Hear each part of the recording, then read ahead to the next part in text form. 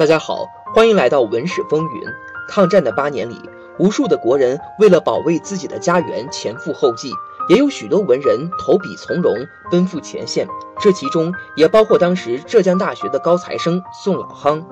加入军队后，宋老夯被分派到了国军的特务连，这个地方相当于当代的特种部队。在长沙战役中，宋老亨和他的战友接到了上级下达的一个严峻的任务：炸掉敌人地势最高、守卫最严的一座碉堡。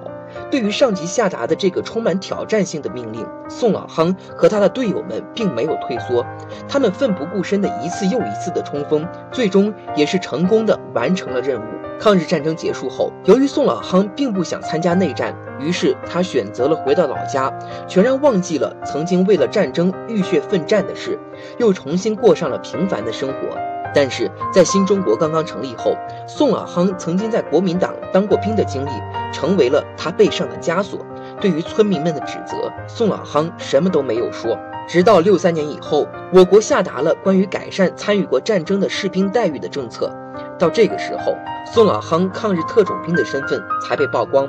当地民政局局长亲自去宋老夯家中看望他，并向他表示了歉意。这时的宋老夯已经是九十五岁高龄，但他却颤抖地说了五个字：“他说我不怪你们。”当时在场的工作人员听了之后，都被宋老夯这种淡然看开心态感动了，又对他晚年的凄惨生活所不忍，都忍不住流下了眼泪。而在那之后不久，宋老夯就去世了。